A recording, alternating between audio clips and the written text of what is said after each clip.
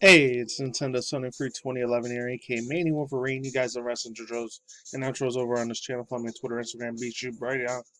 Um, Odysee, Rumble, any other social media platforms that you guys can think of. Anyways, um, just real quick, I know this is Google Stadia we're talking about, and I did say like almost four or five months ago. Shoot, almost four and a half months, maybe at the most, if not five.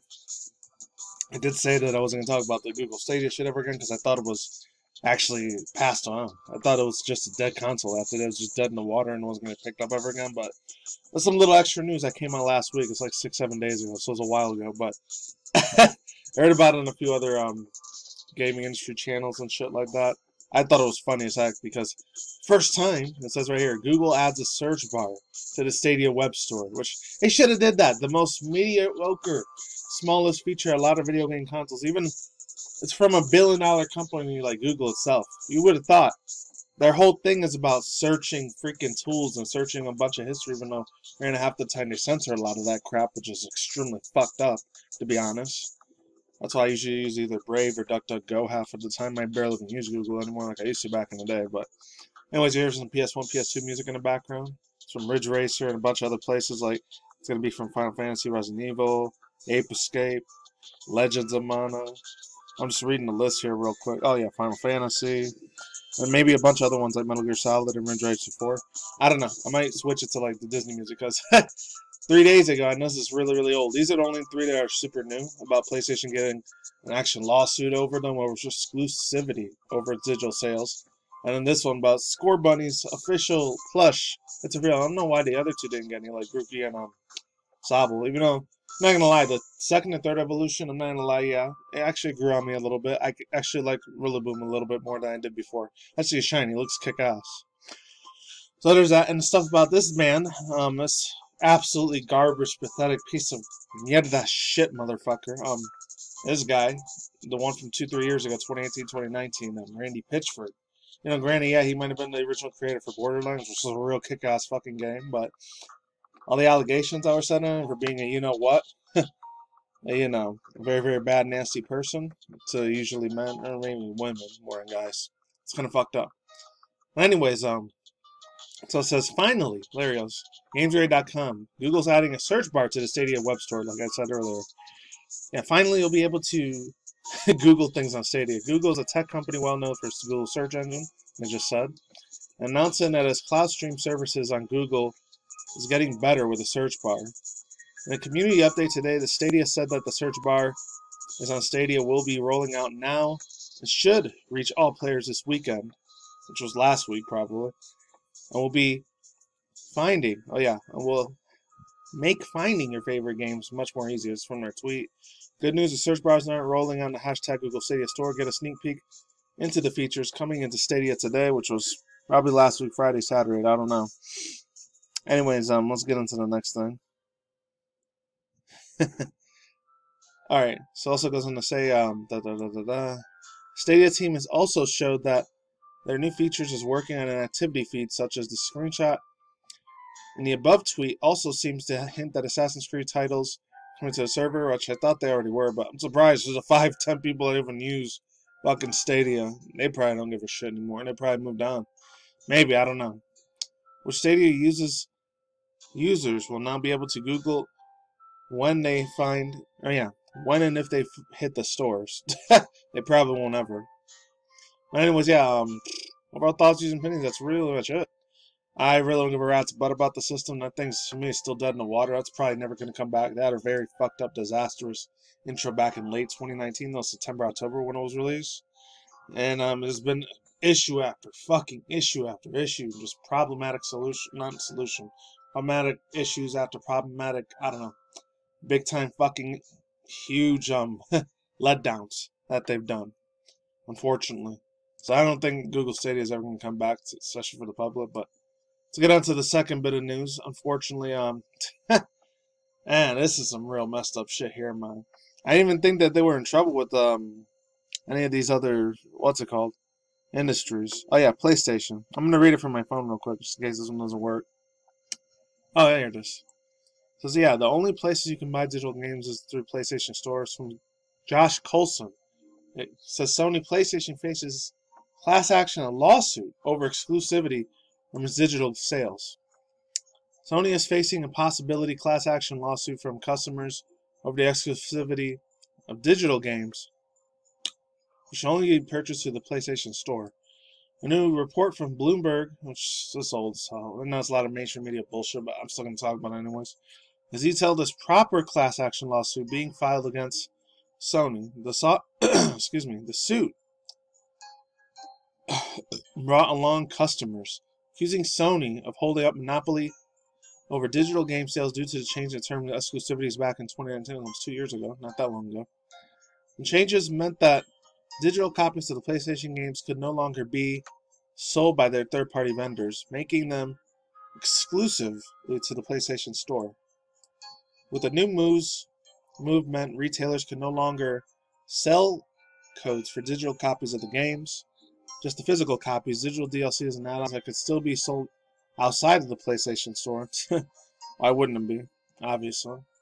Maybe soon, another two, three years from now, fucking digital games might not even be real anymore. Which is fucking sad to be honest, but somebody grew up in the 90s, early 2000s, man, it's a bitch. In mid late 2000s too. So, anyways, um, let's get into the other stuff. Oh, da da da. yeah, the lawsuit. However, the lawsuit points out that Sony can effectively charge whatever it likes for digital games since it has no competition and apparently resulted in those games costing as much as 175% more. Wow. It also goes on to say, I'm not going to read the rest of the other one, you guys can read it on the bottom.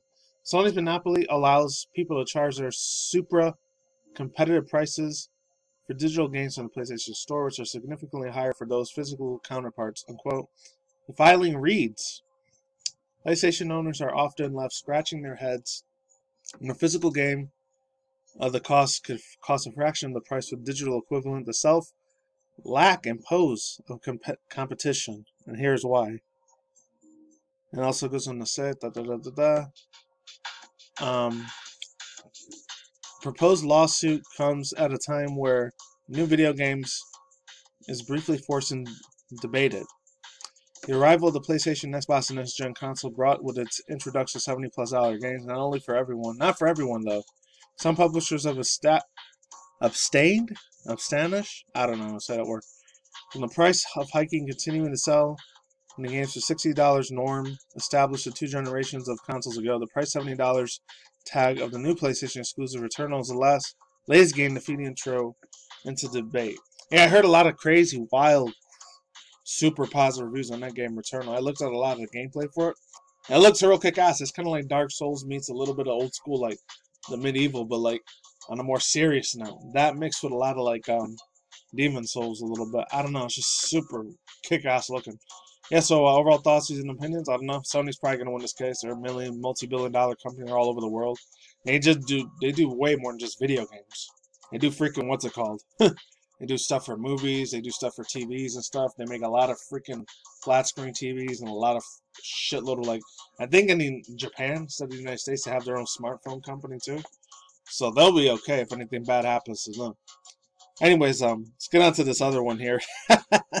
I thought this shit was really, really funny as heck, man. I'm only gonna read like half of it because I don't have that much time to get into this, but you guys can read the tweets on your own if you want to.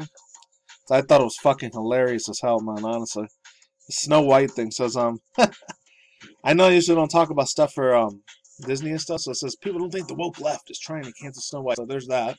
I don't get into the politics side of it. I'm just gonna read a little bit of it. Just read the first two paragraphs and that's it. This comes from uh, Internet Culture from Sibana Bale. Hopefully I'm saying that right. Sibana Bale.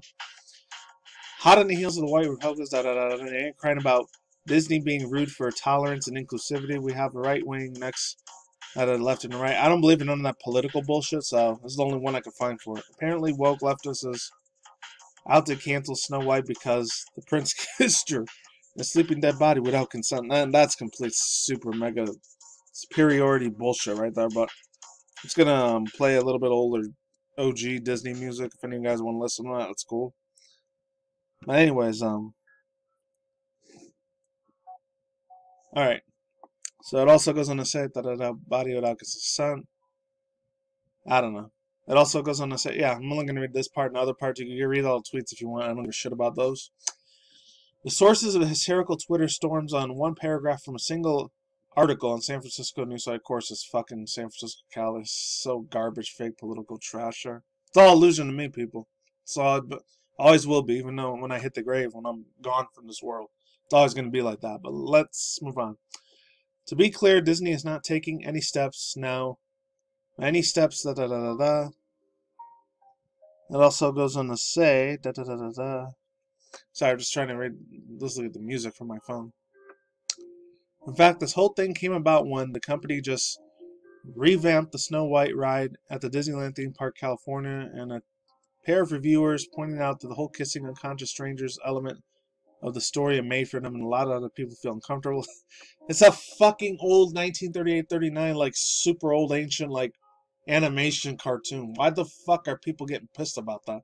It's retarded as hell, but let's move on. I'm sorry people get offended by the R word too, but that's how it is says um, it's hard to understand why Disneyland 2021. I don't know why I did that. Disneyland 2021. Da, da, da, da. Oh, here it is. Would choose to add on a scene with such old-fashioned ideas a man is allowed to do to a woman, especially given the company's current emphasis on urban polymeric scenes for rides like the jungle through Splash Mountain. The reviewer said in the San Francisco Gate. These people just need to get the fuck into a freaking insane asylum, man. Some of these people are way crazy as fuck mentally they're screwed up in the head. They don't have no idea what the fuck they're talking about personally. So um, I don't know if I'll ever read from this fucking website again. These people are just too bullshit into politics. It's an old 1938, 1939, one of those two years of a Disney old, old, one of the very first like movies that they did. It was a way different time back in the day. This fucking in, it was just a fucking peck, man. These people are dumb shits. But yeah, the Randy Pitchford thing, you guys can read yourselves. It's going to take way too much time. I just wanted to talk about this funny, cute little adorable Scorbunny plush. You guys know I absolutely love the shit out of the Gen 8 ones for Pokemon Sword and Shield, which the mainly the Fire Stars, Scorbunny, Raboot, and then uh, Cinderace especially. I know some people think, oh, it's fur bait and shit. I don't give a fuck. I thought it was kick fucking ass. It reminds me a lot of how Naruto was. And I know a lot of people made Naruto means of Cinderace looks like Naruto, but it was kick ass. I used to love Naruto too. Uh, like I said, Rillaboom and then the other two, like Grookey and Rillaboom, they kind of grew, grew out on me. I like those. They look pretty kick-ass. Scorbunny Build-A-Bear Workshop Plus review. Some some um, gaming ideology. I only read from them once. This is um, Build-A-Bear Workshop Scorbunny. will be released on May 6th, which, wow, today. will be added to the Pokemon Cuddly toys. The company set to email the Inside Stuff bonus club members, revealing that the exclusive online bundle, however, the plush toy will be available both online and its own stores. Scorbunny will be the first Pokemon Sword and Shield, so start started to appear in Build-A-Bear Workshop. I thought the other two, Sobble and Grookey, would have been in there by now. I'm surprised. So previously, the company focused on the first generation Stardust, such as Bulbasaur, Charmander, and Squirtle, obviously. Prices for the single stuffed animal and bundles were not available, however, in the announcement. However, some good news here. It showed up that the online bundles will include all right, yeah, we'll be included, I guess. People are giving a Scorbunny fire themed pajamas to Don. I didn't know that. And a fiery cape with fur on the brims. There will also be a 5 in 1 sound chip featuring character screams from the game. That's cool. And there's also a second Build a Bear Pokemon Hug for 2021 for this year. First was Mew was published in February 2021. I didn't know that. Considering the current prices for the company's bundles in this line. Scorbunny will likely be costing 55 and 61 US dollars. Wow. Pikachu bundles only 46 50 but also includes the other one. Okay, not bad. So yeah, overall thoughts, using opinions on that. I really, really hope it's good. So the Build-A-Bear, oh, still more for this. Build-A-Bear Scorbunny plush will release May 6, 2021. Good care for all the game news here. Yeah, overall thoughts, and opinions. It looks really, really nice. Extremely, highly well done. Oh yeah, it did have a little cap on it. it's like a superhero cape hat. Oh, I wanted this motherfucker big time. It's kick ass. You know, probably just oh, I'm just getting it for my um, future nephew or future daughter, which I know they're actually starting to like Pokemon a lot more now, which is great. So I do actually have a four year old nephew. He's starting to like it a lot. But anyways, that's all I gotta say for now. My links to the description box down below, and that's it. Peace out once again, ladies and gentlemen, bros, women, fanboys, and fangirls, toxic emojis. I'll see you when I see you guys today. Have a good night, wherever you're at. Universe out there. Stay tuned for future content, video game industry news, AMO news, internet news, Twitch issue drama news, reaction videos, and that's it. Peace out, my sauerkraut. Let's goodbye. See you awesome people. Flip